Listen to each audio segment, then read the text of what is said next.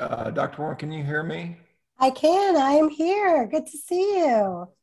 Good morning. Nice to see you. Now, did you was somebody else was were you having uh, Nathan join us as well, or is he is he here? I don't uh, know if I see him. No, no. i am just here today. He'll do a separate thing. Um, I specialize in thyroid, thyroid hormones, healing after thyroidectomy, which he knows okay. some about, but not as much. So, yep, no, just me here today. I'm, I'm I'm always up for learning more. So awesome, wonderful. Thank you. Can you give us a, a little just just to let, let you know here we've got you know however many 30 50 people show up in this and then they have a chance to ask questions you guys are watching on youtube if you if you come on over to revero.health you can you can come in and ask questions as well um, so, but they're all muted, so they won't be able to say anything. So we don't have a lot of background feedback noise.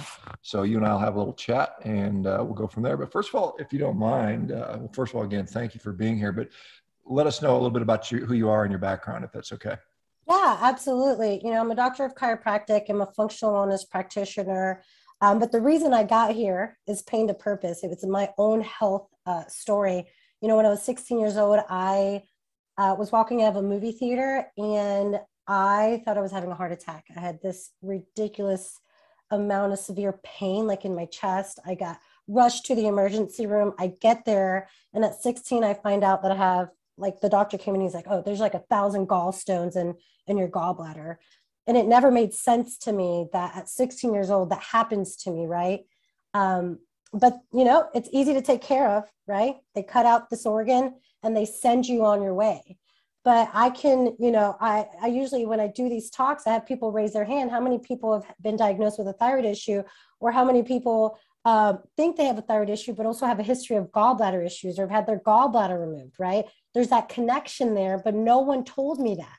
I went in to see my doctor after i had my gallbladder removed and i asked them like you know i feel like i need to lose weight like i i feel like because that's what i thought health was right and the doctor was like, you know, I'll, I'll help you. He checked me out. And at the end of my meeting, he stepped out and got me a Xerox copied uh, of a food pyramid. Food pyramid, you know, the grains at the bottom and two paragraphs at the bottom and gave me the sheet. And I'm aging myself there by saying Xerox copy, right? But, and he sent me on my way. And then three years later, I'm driving. My mom notices this huge lump in my neck. And I, you know, go, I get all these tests done and I find out I had thyroid cancer. I'll never forget sitting in that doctor's office and hearing your daughter has cancer. It was an out of body experience. But the doctor then said, Oh, you know, but the good news is if there's a cancer to have, this is the good one, right? Why is it? Because within medicine, we think that the thyroid is so easy to take care of because we can either cut it out and put you on a pill for the rest of your life or just medicate you with a pill. You don't have to do anything else, just get on a pill. And that's what, what happened with me. I got on a pill, I got high dose radiation, all for a type of cancer where that was completely unnecessary. And I always mention that because, uh, you know, this follicular variant papillary carcinoma, it's increasing every single year exponentially in women. And the same things that cause your thyroid to become dysfunctional leads to this. But what ended up happening is I ended up becoming weight loss resistant. I started suffering with depression. Like every day I would wake up with this heaviness I couldn't shake. And then at night, when it was time for me to sleep, I was fixated um, and anxious and worried. But the problem was every time I would go in to see my doctor, they would tell me that my labs, my thyroid labs looked normal. In fact, one time I was doing CrossFit, I was working out four days a week, and then I decided to become vegan because for some reason, you know, when you think you want to get healthy, you got to be vegan, right? And and I went into this doctor, and the doctor looked at me and was like, "Do you understand calories in, calories out?" So I wasn't losing weight. I wasn't feeling well. And my doctor was telling me it's because I was eating too much. And then I became raw vegan. I literally punished my body because of the misunderstanding of my labs, of the incompleteness of my labs. And it wasn't until I went, I got into a car accident. I went to a doctor chiropractic office and they taught me for the first time that ever that my body's created to heal itself. So at 19, I drew a line in the sand and I was like, no doctor is going to know more about me. I fired my doctor I took health into my own hand and I go, I'm all in. So at that point, I changed my career path and I went to school so that I could help people transform their health the same way I did. Well, it's quite a quite a story, and sorry you had to go through that. But I mean, I think it sounds like you came out the other side, uh, you know, better, and you're going to help other people. You know, I mean, and, and that's what I recall from from you know when I was studying cancer in, in school. And I wasn't an oncologist, so I didn't really have much to treat it. But thyroid cancer is one of the ones where the mortality is pretty low, and and, and yes, you can you can manage it with with replacement. The other thing, you know, the gallbladder, which you kind of uh, addressed, that has become so incredibly common. I mean, it's like when I was actively practicing surgery. I mean, the, the general surgeon in the next room was he was going through three or four gallbladders a day every day. It just seems like there's an unlimited supply of people that need to, that get their gallbladders out. Whether they, you know, whether they truly need it out or not is, is, is somewhat debatable. There's other things to do to to, to avoid it. Um, so you, I guess you have, you still, you have a thyroid that's in place, but it's been radiated, or is it, or you had a thyroidectomy? Cut, cut out completely and radiation. Okay. And uh, so let's talk a little bit about you said incomplete labs and why why do you feel I guess this is just an important prelude to this if, you know follicular papillary follicular thyroid cancer uh, is is increasing. Why is that? Why do you think that is? Well you know it's really interesting and I always butcher his name and I can send a link after this is done on the work that he's done. So I call him actually Dr. Yuri um, a couple well I think it was 2015 he kind of brought together this international community, community of pathologists and radiologists and doctors to reclassify the name of this follicular variant papillary carcinoma. Because he's saying like wait a minute look at the data. What we're doing by cutting out these thyroids or radiating these thyroid is completely unnecessary.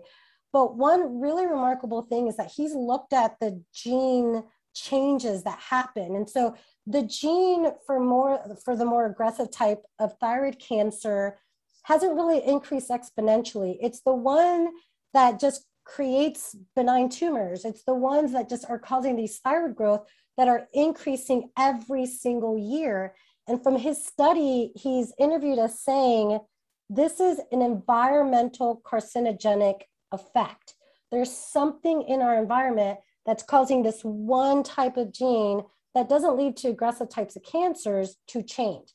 And it's an interesting conversation when he talks about how this isn't aggressive, because when you end up in a doctor's office, the first topic of conversation is cutting it out. In fact, even if it's inconclusive, it's still a just in case approach. Let's just go ahead and cut it out, which I think is I, I, get the mortality is low, but this is such a vital, dynamic, adaptive organ that we need. So this idea of let's just cut it out. Oh, there was no cancer there. Well, at least you know, you know, better safe than sorry. It's not just about dying; it's about quality of life. And we have no long-term studies about how our bodies are adapting without this organ or what our bodies will need 10, 50, 20, 30 years down the road when you're living without an organ like this. Yeah, and your point about you know the thyroid. I mean, obviously, when you try to replace, you're never going to get it right. I mean, the thyroid is adapted to the local environment, and it's going to it's going to change just like any other organ. It's very smart, and it responds to all these stimuli. And the best you can do is kind of a you know a fairly poor approximate approximation with replacement. Same thing with insulin. With diabetics, they struggle to mm-hmm. get that right. But and, and that's another thing. The thyroid hormone has tremendous impacts among all kinds of things. You know, there's some concern about diabetes and thyroid. There's, there's a link with that. You know, if your thyroid's not functioning, then you are at higher risk for diabetic issues. And so, what are your thoughts on uh, the thyroid beyond just, you know, what it's, it has an impact throughout the body. Can you talk a little bit about that? Absolutely. And the one thing I want to point out that you said that I think it's really important for people to hear that you just said it's difficult to pinpoint, like kind of like to dose it according um, like insulin, like, you know, according to your external stressors, according to what your body needs. I think it's important to note that because when you go into your doctor and there's this, this dysfunctional thyroid, the most common thing that happens is you get on a thyroid medication, and I'll have people on the same dose for 10 years. And they notice that they don't feel well or something's off, but they're on the same dose. And it's like, how can you be on the same dose, you know, for that long? That's not, uh, that's not right. Like this is an adapted thing. Now, going back um, to what you said about these thyroid symptoms. So the biggest thing to understand about the thyroid, and I think it can be really difficult because when you think you have a thyroid issue, you go to an endocrinologist, and what they're going to focus in on is that thyroid and then the thyroid hormone. but they're not going to look on how that hormone is affecting everything else in your body. And active thyroid, which is T3, works on the mitochondria. It works on energy production, ATP production for almost all of your cells. So most people think that, you know, low thyroid symptoms are going to be just, I can't lose weight or my hair's falling out. No, it can be a wide range of symptoms. In, in fact, I came across a study that only 10% of hypothyroid people have overt symptoms, meaning my hair's falling out, my eyebrows are changing, I'm weight loss resistant. The other 90% are suffering with depression and anxiety, affects brain function, constipation, diarrhea, skin issues, feeling off in their bodies that they just can't pinpoint, um, having low immune function, diabetes, insulin resistant. I had a woman come in whose diet is just clean and good, and she does keto, but she can't go, you know, deep into ketosis, and her glucose stays around in the upper 90s, and she's feeling like she has to change all her food and restrict her food when her thyroid was suboptimal, not even out of the range, because it was on the low end of the range, she was starting to develop this insulin resistance. So those symptoms, what you have to realize is that T3, gallbladder function, that T3 moves everything forward and allows everything to do what it needs to do. When it's suboptimal, everything can slow down when it comes to hypothyroidism. Yeah, and so just back to the the question about why do you think the frequency of this this is happening more? In regards to hypothyroidism? Well, I guess that, and then also this cancer that you, it was increasing dramatically. I think so. I think it's toxicity. So when we're looking at the thyroid, I always like to explain, especially, and we'll get to the labs here. You know, I always like to explain the labs according to top down. And what we have to remember is that the hypothalamus, which communicates to the pituitary, is going to communicate to the thyroid. And the hypothalamus is influenced by any type of stressor, chemical, emotional, and physical stressor. So, number one, chronic stressors in our environment. We're walking into rooms with fragrances. We're being exposed. We know this. So, we know that the thyroid loves iodine. It utilizes iodine. Iodine molecules is what the four, T, when we look at thyroid hormones, there's T4. Those four molecules come from iodine. The T3, those three molecules come from iodine. But we know that iodine is a halogen. So the same kind of molecules that look like iodine, your thyroid's going to bind to. And what are some other halogens? Fluoride, chlorine, bromine.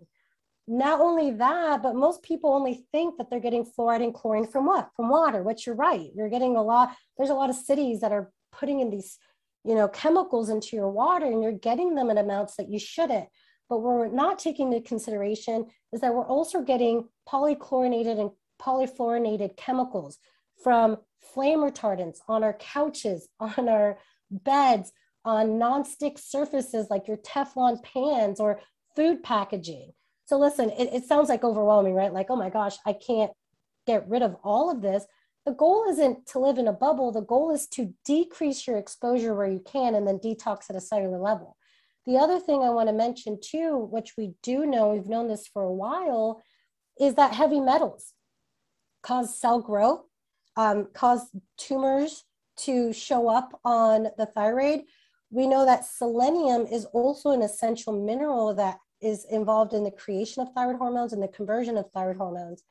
And selenium has these metal properties as well. So again, your thyroid can bind up to things, especially like mercury and cadmium. Um, and where do we get a lot of that from? You know, the fillings in our teeth, what we're exposed to in our mouth and in our dental procedures. So the biggest problem is this, is that within this medical system, we think we've got it all figured out, right? When it comes to the thyroid, you got a thyroid issue. What we're going to give you is hormones, which can be really life changing. If you're completely depleted, you will lose weight, you'll feel different. But the problem is, is that medication's at the end. It's the end product. And so all the underlying things that are causing that thyroid to become dysfunctional not only will continue to shut down your thyroid, but will always cause other systemic issues as well. So the truth is, we're allowing those problems to persist while we feel better because we're taking a hormone, we're taking the end product. Hashimoto's, which is 90% of hypothyroid individuals, is a whole body, whole body immune issue. You go to your doctor. If you have Hashimoto's, if you have those antibodies, the answer is still the same Synthroid or Armour Thyroid. There's no medication on the market right now that's going to bring down your antibodies so it doesn't get addressed. So we know that these antibodies cross the blood brain barrier, they affect your brain, they increase your chances of other autoimmune issues. So here you are feeling better as your thyroids continue to get sicker and sicker, increasing your chances of thyroid cancer as well as other systemic issues as well. Yeah, it's, it's interesting. Um, Hashimoto's is something that, you know, again, I obviously we have a, a community that's kind of focused around diet and we've seen uh, quite a bit of success with regard to that particular issue. But how do you, uh, how do, I mean, again, many physicians, you know, thyroid workup is a TSH and a T3, T4, and, and that that's kind of it. You know, sometimes they'll throw, you know, antibodies in there if they're going beyond that. But what what things are people missing when they're when they're discussing the thyroid when they're working it up? Yeah, absolutely. So I'm going to explain this kind of from the top down. And I also want you to realize that your thyroid, and if you don't have a thyroid and how much medication you need, is going to be dependent on if you're efficiently creating energy, if you have weight to lose, if you're in ketosis, if you're low carb. And that's something we don't talk about, where, where you're at in your menstrual cycle it'll affect what your values show up on your labs, right? And so I'll give you some variations when I'm looking at those ranges. So number one, you know, hypothalamus talks to the pituitary, and from the pituitary, you release TSH, thyroid stimulating hormone. This used to this used to be the gold standard. They said that's all you needed to be tested. In fact, I've been looking at the studies for a decade and a half, and I'll never forget coming across studies when I was really suffering. And in the studies, they'd be like, if a patient, if someone is saying that they don't feel well and their TSH looks good, then you need to evaluate. They're either lying, they're not following your recommendations, they're not taking their medication the right way, like you told them. It was on us and the patient. But now we're saying, like, wait a minute, no, there's more to this. And this is why. So TSH, thyroid stimulating hormone, is a pituitary hormone. It is not a thyroid hormone. It will tell you what the pituitary is sensing. The pituitary, there's this feedback loop. That's what doctors would depend on for a really long time. Like, okay, well, if you need thyroid hormone, it'll affect your TSH. No, it'll only, in that feedback, feedback loop, we're only looking at T4. It's not looking at T3. And I'll explain why that's really important to understand, right? So it's thyroid stimulating hormone. The ranges can go from 0.5 to 4.5. But we have studies now showing that it has to be under a 2.5. We have studies showing it increases your chances of like chronic fatigue syndrome, um, feeling down, having uh, you know these subclinical thyroid symptoms, increasing your chances of miscarrying if your TSH is above a 2.5. So you can go to your doctor, you're a four, you're a 3.5, and that's not enough. But we can also see that TSH start to increase when you're chronically stressed. And that's how TSH that's how it should be utilized as this kind of marker that you can see how you're changing with your environment, but it's not going to always be accurate to tell you if there's something wrong downstream. So TSH, thyroid stimulating hormone, comes from the thyroid. Uh, well, comes from the pituitary, goes to the thyroid, and from the thyroid, you're going to produce T4, right? But total T4 is not going to be helpful. You don't want to know what's unbound. You want to. Uh, you don't want to know what's bound up. You want to know what's unbound and readily available. You can have all of this T4 that's bound up with nothing to use. What good is that to you? What you want to know is what's readily available. And that's the free version of T4. Now, T4 still needs to be activated, it needs to be converted into its active form. So, right now, more of these progressive doctors will say, okay, we're going to do TSH and free T4. Why is that? because they're just under the assumption that your liver, your kidneys, your gut is just going to convert it. They don't, and especially the number one medication um, on the market for thyroid is Synthroid, which is a T4 only medication. So, really, what they're concerned about is do you have any T4? Can I change this thyroid medication? Um, and that's all they look at. But that's not what's going to bind to the cell. What needs to bind to the cell in order to create all of this amazing, you know, changes within your body, your metabolism, your energy, all of that has to be T4 converted into free T3. So that T4 is going to go to the liver, it's going to go to the gut, it's going to go to the kidney. And I'm going to go ahead and say this. it, it's kind of a vicious cycle when it comes to T4 and conversion, because if you're suboptimal, and mind you, I say suboptimal because I'm not talking about just out of the range. You can be on the low end of the range. You can be in the middle end of uh, uh middle of the range and still have thyroid symptoms because that's not where you should be. But it's this vicious cycle because if your thyroid is suboptimal, it affects digestion, absorption, HCl production. And if those things are affected, then that affects your ability to convert it, convert your thyroid hormones. And if that affects your ability to convert your thyroid hormones, it'll affect your digestion.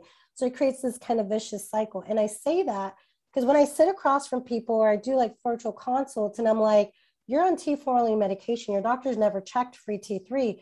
How well is your digestion? Oh, I have constipation or I have diarrhea, I have acid reflux. How well do you think your liver's functioning? Well, not well. I'm having some blood sugar issues. Well, how can we depend on your liver, your gut, and your kidneys to convert this when you already having symptoms that they're not efficient? So T4 goes into the liver, kidneys, gut, gets converted to free T3, and that's what binds to the cell. There is, and so free T3, let me go ahead and tell you about this. I like to keep it within a range within the medical, you know, like within the literature for the longest time, the, the range was too broad. There would be people, so it could be between 2.4 and 4.4. And if you're at 2.5, you're still fine. No, you got to pay attention to your symptoms. You got to pay attention to how your body's functioning. So I like to keep it within a range because if you're not low carb, if you're not in ketosis, like you can your, your range should be higher right it should be 3.5 or higher but in the absence of carbs in the absence or if you start losing weight um, if your body becomes more efficient with energy if you're producing ketone bodies there's less need for conversion of t4 to t3 and that's really important because there's some blogs out there there's some things out there that are like oh you have to eat carbs you have to eat carbs because that's what's going to convert t4 to t3 no, studies find that T4 to T3 goes down. It doesn't say why it happens, they're only telling you what happens. But when we look at other studies that look at people that are losing weight, that are looking at people that are reversing, you know, neurological things um, when they get into ketosis, when we look at other studies with people that are obese and losing weight and becoming better health wise, we also see a decrease of T4 to T3 conversion. Because T3, you will need more T3 when your body is not efficient. You will need more T3 when your body is consuming tons and tons of carbs, right? Um, chronically. You will need T3 when you have all this weight that your body's holding on to. And then when you see that change, you see less need for it. So that's why I can see people that are either carnivore or low carb, um, high fat, or high protein I'll see them at a three or a 2.9 and still see amazing metabolic changes, still see weight loss, still see increase of energy. So free T3 can be a range. I just don't, the one thing, whether you're low carb or, you know, carnivore or keto, whatever it may be, the only thing is you don't just, you don't want to be on the low end of the range. You don't want to be at that 2.5, 2.6, 2.7 you want to be a little bit higher than that. And then allow that range to occur according to where you're at with how you're eating. Now, the next test is reverse T3. Reverse T3 is a um, marker of stress. It's a marker that your body makes to prepare for stress or in response to stress. And if you're in stress, it'll use it. So what ends up happening is when you have free T3 that goes to the liver, it's going to make some, some of what's called reverse T3. And the idea is this innate thing your body does to prepare itself if it needs to be into survival mode, right? If we are in a famine, if there's lack of food, if for some reason you need to conserve energy and your thyroid cannot function, you have reverse T3 to back it up. But what that means is that if you're chronically stressed, and stress is emotional, chemical, or physical stressors, if you're stressed your body's like wait this isn't this isn't good if you're inflamed if you're toxic right if your gut you have gut infections, reactivation, whatever it may be, what your body's going to start doing is it's going to start taking from free T3 and increase reverse T3. And this can be problematic because reverse T3 is a molecule that looks like free T3, which means it can bind to the cell. It'll bind to the cell, but it won't do all the amazing things that free T3 will do. So is it possible that your TSH looks good on your labs, your free T4 looks good, your free T3 is on the lower end of the range, but you have so much reverse T3 in your body that you feel hypothyroid, that you have these symptoms of hypothyroidism. Absolutely. You have all this reverse T3. Reverse T3 is a really good marker to look at as well because you can catch an underlying thyroid issue before your thyroid gland crashes. Okay.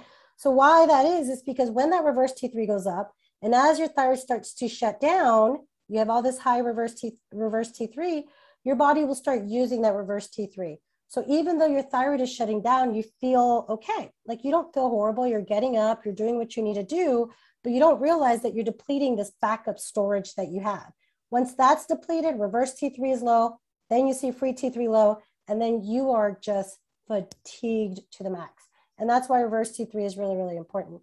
And then the last two tests are TPO antibodies, thyroglobulin antibodies. And just, you know, reverse T3, I usually like to see it mid-range and down. You don't want it to see on the upper end of the range. That's a big red flag that something's happening there. And then TPO antibodies, you want it under a nine.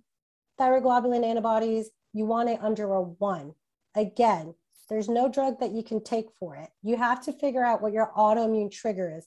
You can start in the gut and then go deeper from there, looking at detoxification, mold, Lyme, underlying infections. But you have to address if you have antibodies. You can't just keep an eye on it every year. You have to address this autoimmune reaction because it will always lead to more issues. I hope that was helpful. it was very helpful. Thank you for doing that. And I know a lot of people were asking about the reverse T3, so I'm glad you touched on that. Um, you know, I'm, I'm just looking at the you know, you got some lab values behind you on, on the on the on oh. the whiteboard.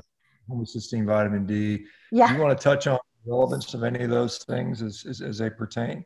Yeah, absolutely. Look at that. Okay, so TSH, free T4, free T3, thyroid. So homocysteine, we like to look at homocysteine because it's a marker for methylation. We need proper methylation in order to have proper um, thyroid hormone levels. We also like methylation, adequate methylation in order to support your body's natural detox process to keep your sex hormones in check for both men and women to get rid of estrogen so you don't have estrogen dominance. So, usually, when we're looking at homocysteine numbers, we're looking at keeping it around a seven or under um, to support methylation. The next thing we have vitamin D is a hormone D. Guys, if you have not had your vitamin D tested, you need to get your vitamin D tested. And that needs to be a normal part of your lab work every year or every six months whenever you get lab work done because vitamin d it's no longer i can tell you this and I, have spoke, spoken with my colleagues about this because i'm like it's not just about not getting outside which you do need to get outside. You need to get sunshine. You need to get sunlight. Help your circadian rhythm. Help make hormone d. But the insulin and blood sugar issue affects your hormone d levels. You know toxicity affects your hormone d levels. Your liver affects your hormone d levels. And so when it acts as a hormone, vitamin D helps with the T4, T3 conversion and the production of T4, right? But the thing is this the range is from 30 to 100. I will say this I have not seen such low vitamin Ds in all my years of practice until the last couple of years within the 20s. The goal is when I'm looking at thyroid healing and support to have it above a 60. That's where you want it to be. So we always check vitamin D. It's a hormone. It affects your immune system. It's essential for your sex hormones, your thyroid hormones, your adrenals. You need it. It is involved in so many different processes. But I will say this just kind of as a side note you need the adequate cofactors with vitamin D3 if you're going to supplement with it, right? There's other ways to naturally increase it, like with light and stuff. Um, but magnesium shuttles vitamin D into the cell. Vitamin K at a minimum, because vitamin D will move calcium K is what allows calcium to go where it needs to go and not settle in other areas. So what do we have here? Fasting insulin, and I would actually add C peptides to this. Um, I look at insulin uh, as well as triglycerides and A1C and CBC. Those are the best markers not just for heart health, as, well as C reactive protein. C reactive protein is an inflammatory marker, especially when it comes to the heart, but it's a very good uh, marker to look at with inflammation. But I always keep an eye on blood sugar. So, like was mentioned earlier, thyroid, when you're suboptimal with your thyroid hormones, studies have found this interesting thing. If you have low thyroid hormones, remember when I say suboptimal, I'm not talking about out of the range. I'm talking about you can be at a 2.9 and that's suboptimal for you. What they found is that that body will your body will become can become hypoglycemic. Oh my gosh, you don't have enough. But then at the peripheral level, like your tissue level, uh, you're insulin resistant.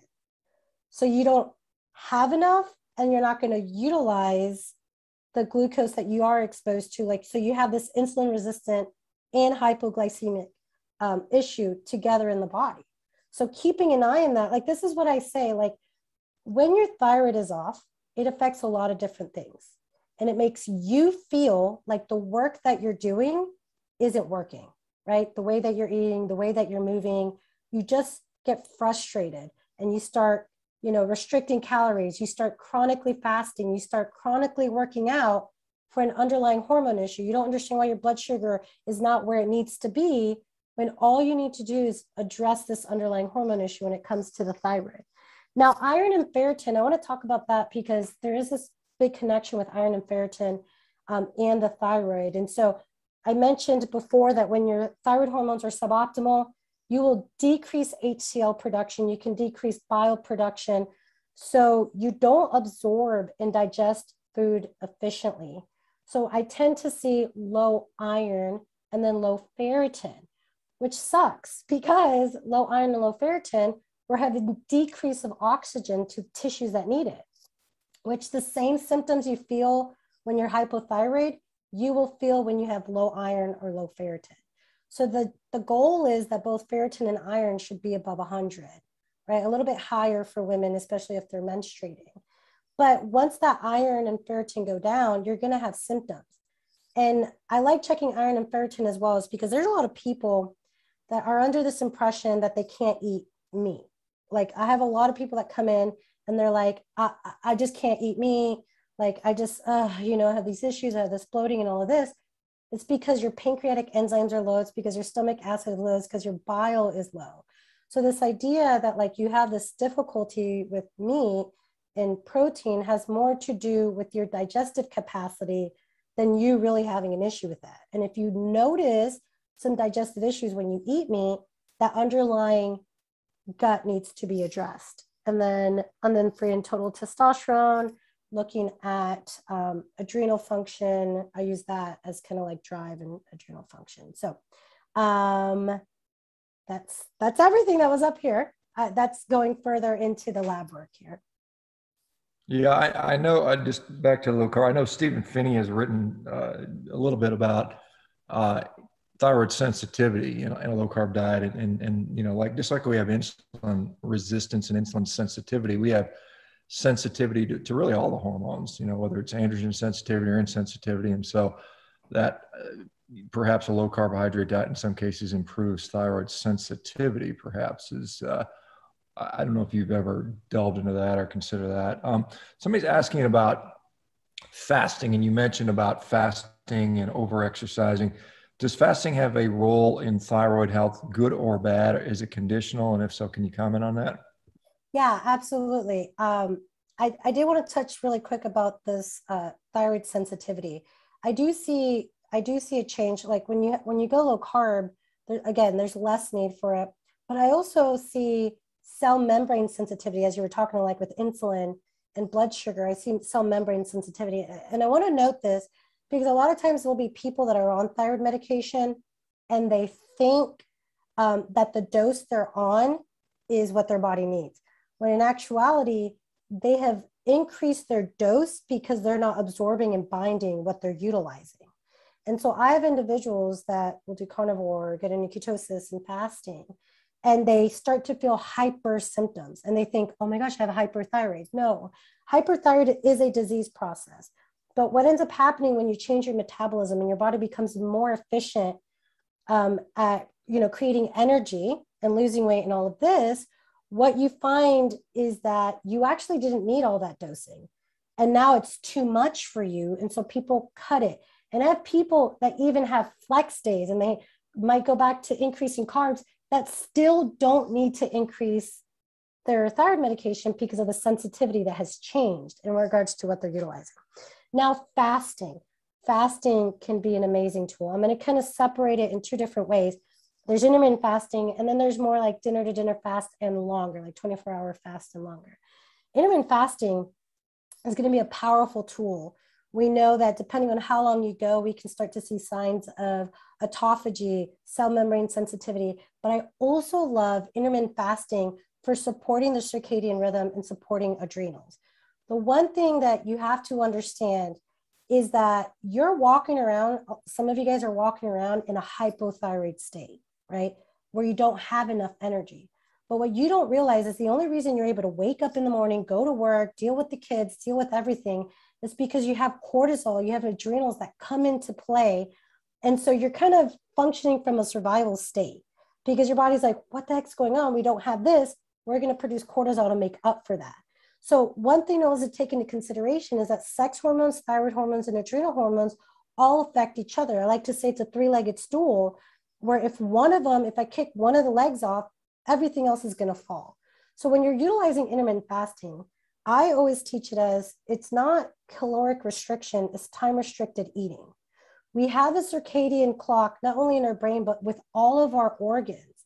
And our body, in order to prepare for sleep, we need to eat at the same certain time every single day and not eat too late because we just over time with all the snacking um, that they told us that we needed five to six meals a day and snacking at night and these blood sugar and insulin issues where you feel like you need a dessert or a snack at 11 o'clock at night, it's affecting our circadian clock. It's affecting our ability to get deep sleep and healing sleep where your body detoxes, you download memories, um, you know, your, your thyroid can regenerate and all those types of things.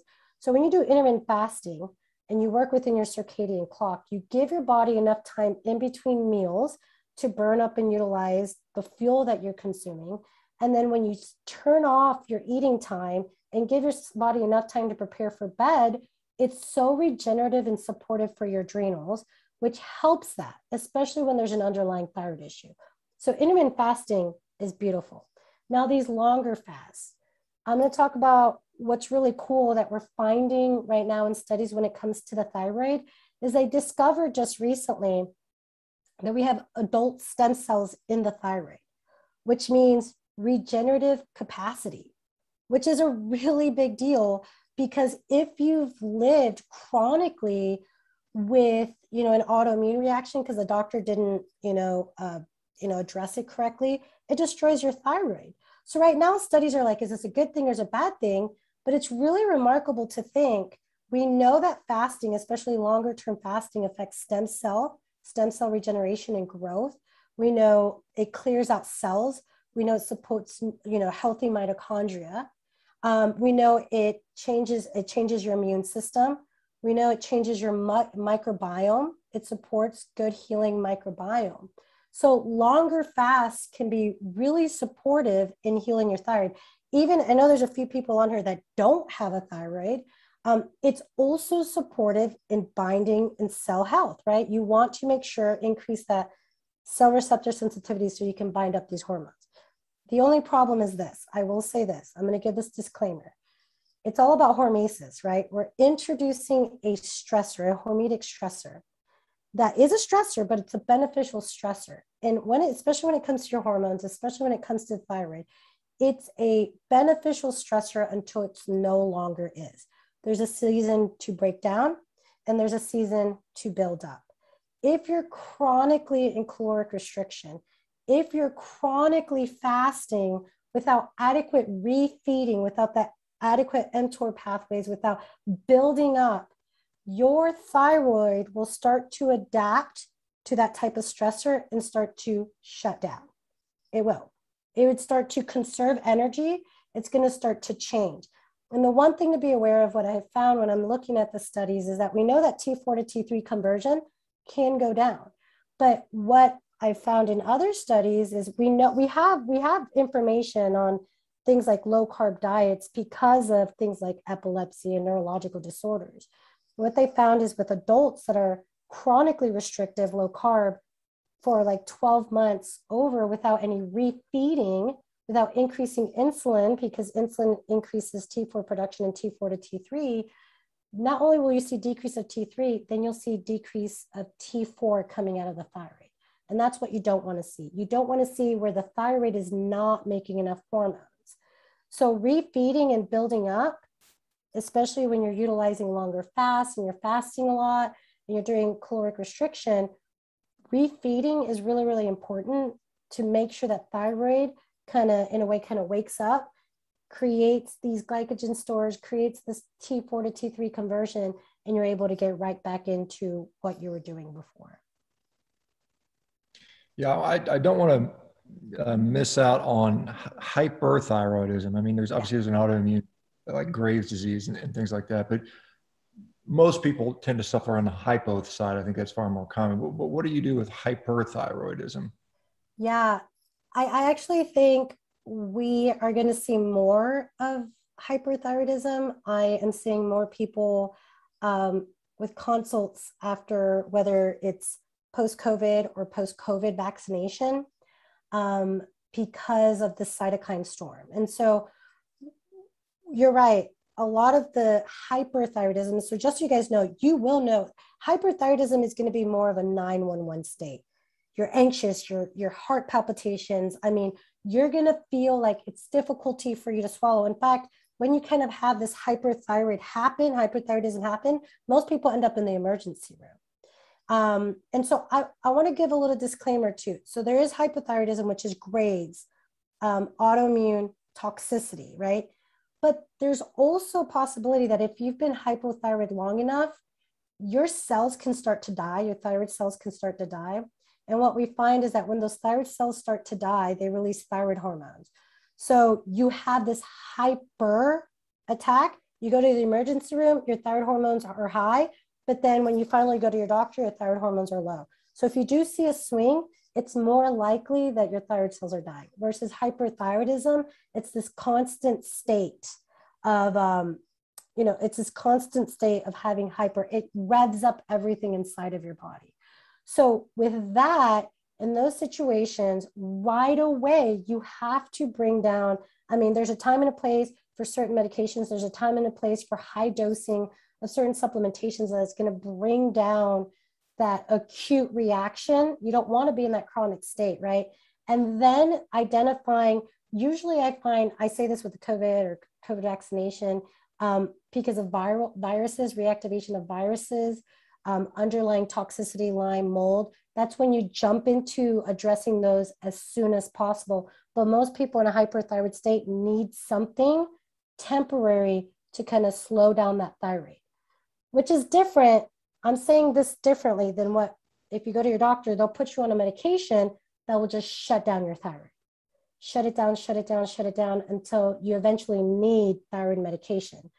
My goal when I work with people is put them on something supportive to slow down the thyroid so that they can eventually work themselves off of that.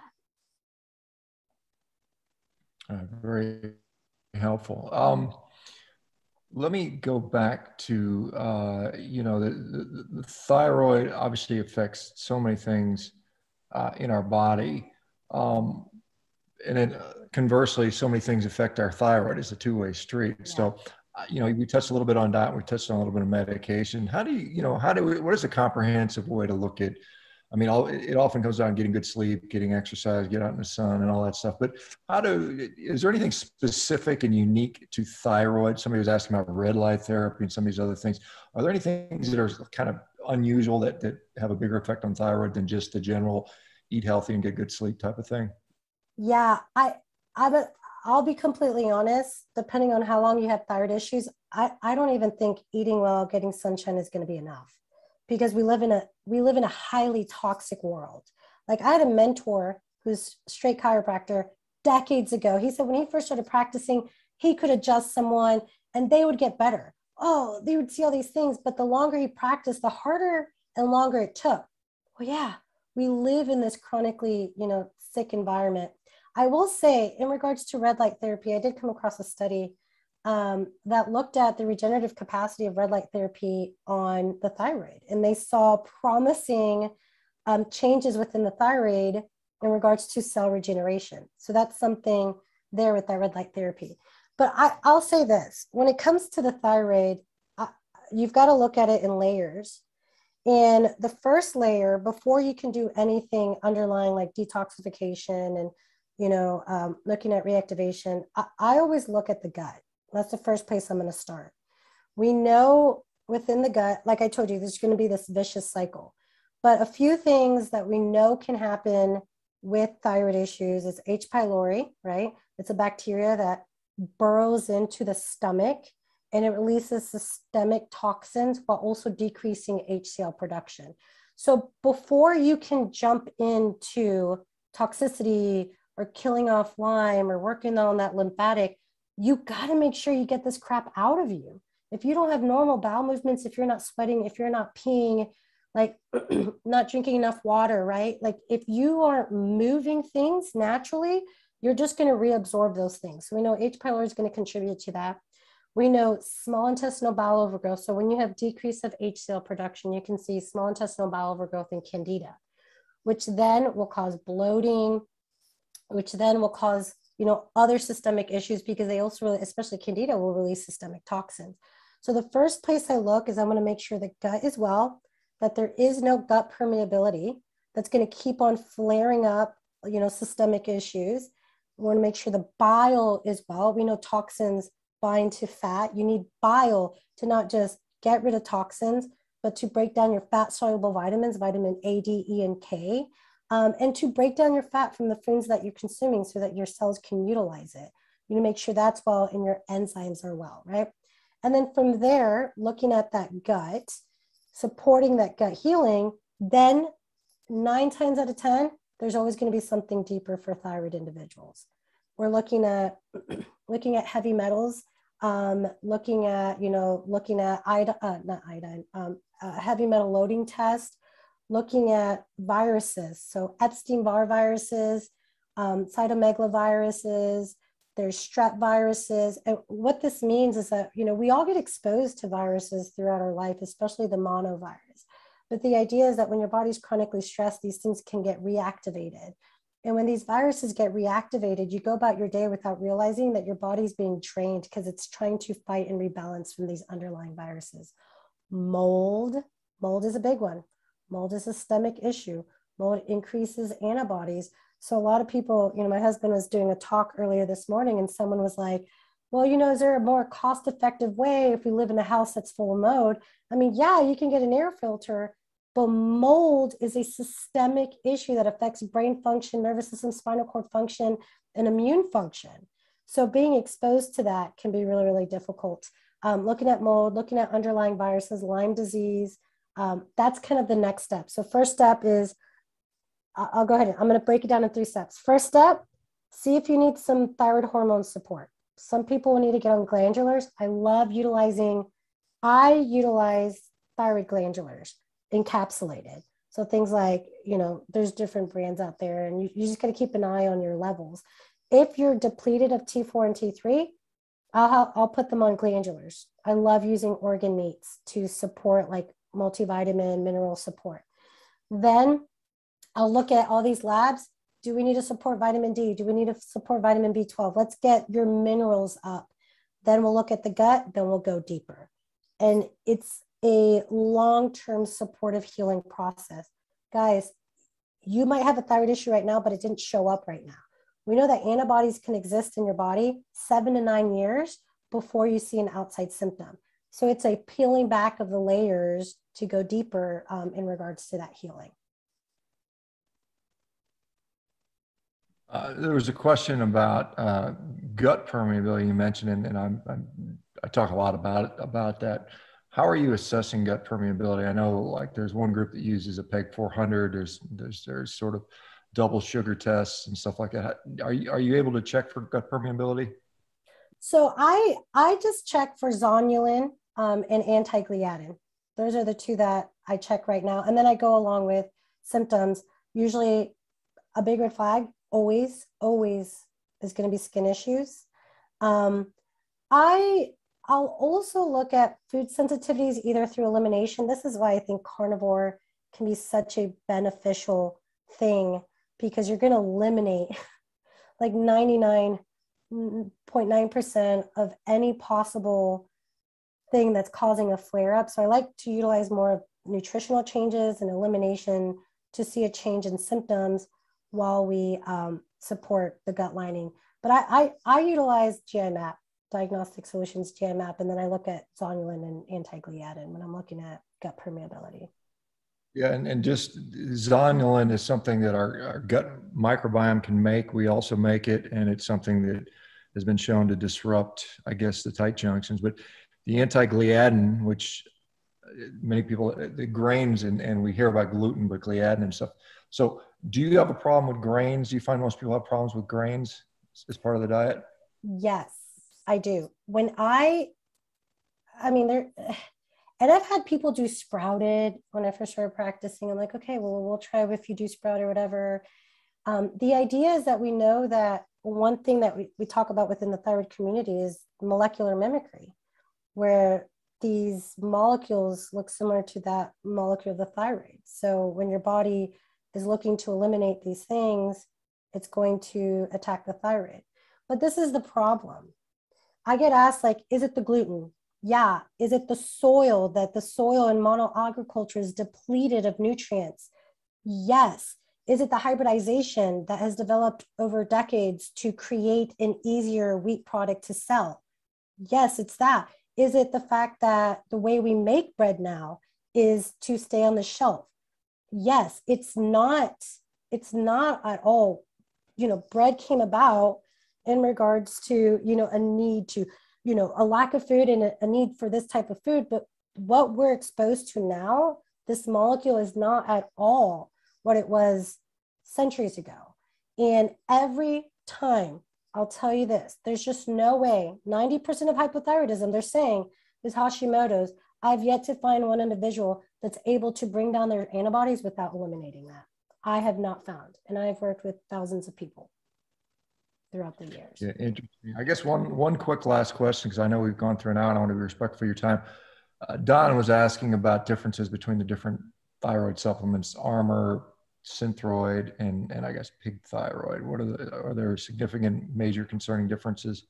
Yeah, let me plug in my computer so we don't die here. Okay, so let me tell you what options are out there because I'm going to throw in another option to my carnivore group here. So when you go to the doctor, there's synthetic forms. There's synthetic T4, which is synthroid, levothyroxine, and then there's Cytomel, which is T3 only, right? Then there's more natural desiccated thyroid hormone. And for the past decade and a half, I've seen the conversation change, but a lot of doctors will be like, oh, you can't get on Armour thyroid. Armour thyroid is pig thyroid, right?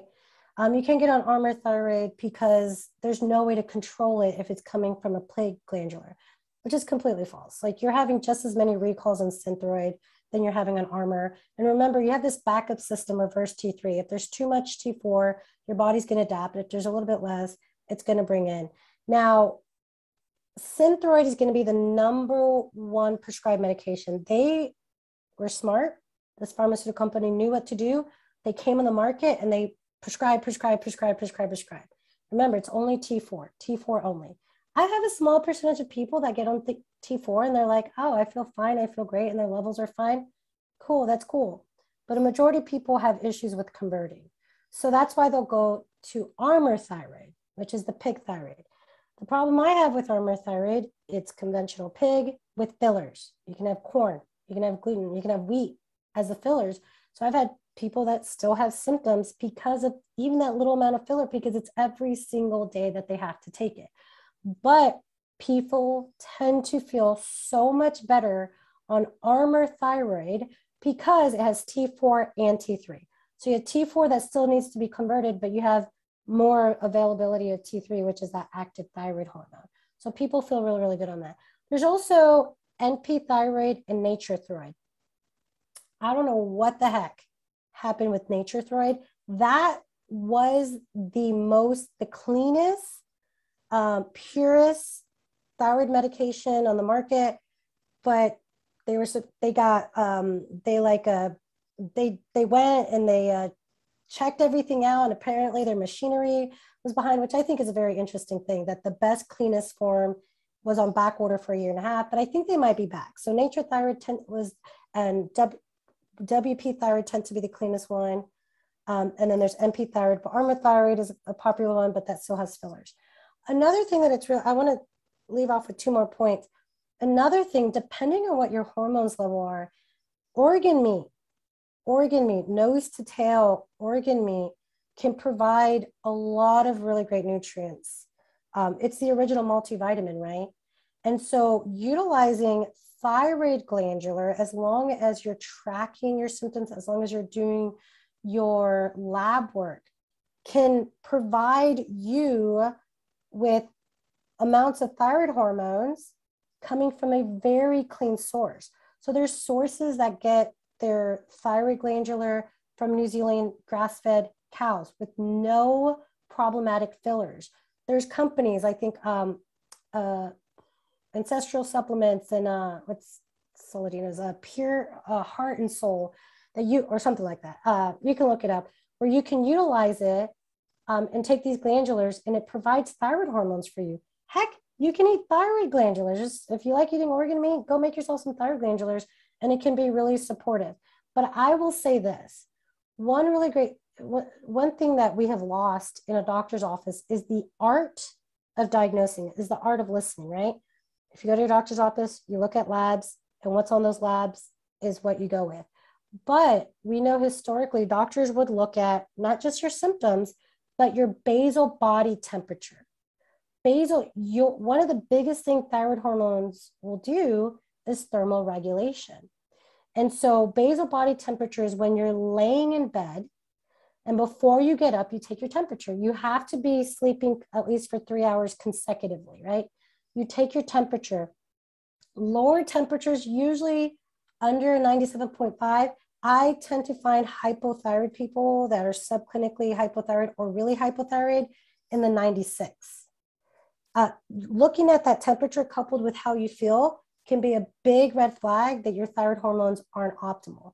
So, looking at your basal body temperature every single day, and of course, with menstruating women, you're going to see a, a, a spike when you get into your luteal phase. So, be aware of that. But oh, every single person I work with is tracking their basal body temperature they're aware of what's happening with their thermal regulation to make sure they're supporting themselves appropriately. And the last thing I want to add is because I don't have a thyroid, and there's people here that don't have a thyroid, and there's people that are going to listen to this, and it, it, it can feel very lonely and lost because all you hear about is people that have thyroid, and there are, I mean, thousands and thousands and thousands. I mean, right now, a couple years ago, I looked, it was 70,000 people a year getting their thyroid cut out. That was years ago. I don't know how many now, right? I mean, they're getting it cut out if you have Graves. They're getting it cut out if you have a tumor. They're getting it cut out if you have cancer, if you don't have cancer, right? So the one thing to understand is that ranges for people without thyroid is going to be different. We don't have studies on this, right? All you have to go off of is what you're doing, how you feel in your own body. So trust that. That being said, what I have found, this is just for informational purposes, right? What I found for myself and what I found for the people that I've worked with that have, don't have a thyroid is they tend to need to be on the higher end of the range. So if free T3 goes to 4.4, 4.3, 4.4, even 4.5, and they feel amazing. And the reason why this can be complicated is because if all your doctor is looking at is your labs, what'll happen is what I hear over and over again is someone will like do a consult with me, right? And they're like, Dr. Becca, I don't get it. I got on higher amounts of thyroid medication and I felt amazing It was the first time I've had energy. It's the first time I've lost weight. But my doctor looked at my labs and said it was too much and cut back my dose. And now I'm symptomatic again. It should always go according to what you notice differently inside of your body. If you see improvement, you will know if you're on too much medication. You will know it's the same hyper symptoms. You will know the day of if you're on too much. But for those that don't have a thyroid, a majority of the people I see they're struggling because they're not on the right dose for them. Let me, if you don't, if you have a chance, just one other topic. Um, iodine, iodine supplementation, because as you mentioned, iodine is integral to thyroid hormone production. So, how do we manage iodine, or how do you manage iodine?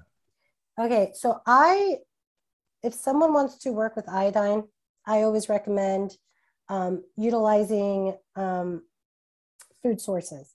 I mean, you've got iodine in eggs, liver, cod, shrimp. Like you can be aware of consuming foods that have more iodine. I don't like to utilize iodine unless I'm doing two things um, higher dosages of iodine. Unless I am testing antibodies regularly, I might, if I'm coaching someone, I might test their antibodies every six to eight weeks because I want to see how much this is changing and if we're moving in the right direction. And the second thing I will look at is an iodine loading test, where you take a higher amount of iodine, then you collect your urine, you see how much you're urinating out over a 24 hour period. The studies find that it's that 24 hour period that your body's going to utilize that iodine. And so if you're peeing out a lot of iodine at the tissue level, your iodine levels are fine. But if you're retaining a lot of that iodine, um, then you would be a, a, a person that would benefit from iodine. Now, iodine is going to be interesting because I don't play around with toxicity. Like, I have seen too many people play around with things and they're not getting rid of toxins. We know that higher doses of iodine is going to move out fluoride, chlorine, and bromine. We know it's going to bind to receptors and release these things in your body. So you want to make sure, again, that you're not doing higher doses of iodine without making sure you're testing antibodies, you're testing your levels, and making sure that your detox pathways are open. Oh, and right, oh, one more thing oh, selenium. I'm going to talk about minerals just really, really quick because selenium, I came across a study looking at because of how the soil has changed. And I think it was like 50% decrease of mineral content in vegetables, 15% even in meat just because of monoagriculture, especially if you're not getting things from a regenerative farm. And so we know that we're going into this kind of overall issue for a lot of people where a mineral status is low. Minerals are essential, not just for the thyroid, but for so many different systems within the body. But selenium is a part of the glutathione peroxidase complex. It is a necessary selenium, zinc, and copper, but especially selenium, it is essential for glutathione production, which will protect your thyroid from free radicals. That will protect your thyroid. It's a potent antioxidant. So selenium is essential to that. So depending on where people are, I can increase selenium or I might work on uh, putting them on a mineral complex um, to make sure that they have adequate selenium levels. It's also associated, I've seen mineral deficiency in decreasing T4 to T3 conversion. Well, okay. Thank you, Dr. Warren. This has been wonderful. I think everybody has gained a lot of insight into this and give people to think things to think about, uh, particularly the folks who are struggling with thyroid issues. Um, let folks know where they can go to find out more about you, or maybe you have a social media or a website. Can you share that with us? Absolutely. You can find out more about me at drrebeccawarren.com, my name. I will say I do have a free Optimal Thyroid Labs ebook. I should have mentioned that earlier. Um, it just has the thyroid labs. And in fact, it's really funny. I've worked with enough prescribing doctors that sometimes there's, I want to say this your doctor doesn't want to do your labs. I get that question all the time. What happens if my doctor doesn't want to do my labs? Don't go to them, find someone who will, right? Like just, I live in the South. I always hear, but my doctor's so nice. And I'm like, yeah, but you're slowly dying. Like, I don't care if he says good morning to you. Like, you need to find someone that's going to listen to you and work with you. And then don't expect from your doctor what you can get here. Don't expect if your doctor has a toolbox that they're really good at, which is prescription and ordering labs and surgery, don't expect them to teach you what it looks like to change your metabolism or how to detox appropriately. Go to them for what they're good at and then invest in this realm of things. So Dr. Rebecca Warren, and then on Instagram, Dr. Rebecca Warren, Facebook, Dr. Rebecca Warren. And I'm about to launch a, a free Facebook group for people that have their thyroid removed called Healing After Thyroidectomy. You should be able to find it on Facebook. Oh, I think you're well. Okay, thank you so much. Uh, appreciate it. Hopefully, maybe we can get you back back in down the road a little bit if you don't mind. And uh, uh, I think everybody had a great time with this. So anyway, enjoy your Monday. And once again, thank you. And the rest of you folks, uh, we'll see, I guess, hopefully most of you guys back tomorrow. Take care, everybody. Bye-bye. Bye-bye now. Join Revero.health for a 30-day free trial to get access to live Q&A with VIP guests, social community meetings, member discounts, low-carb healthcare providers list, forum, workouts, monthly challenges, early access to podcasts, recipes, carnivore diet guide, fasting guide, shred guide, and much more.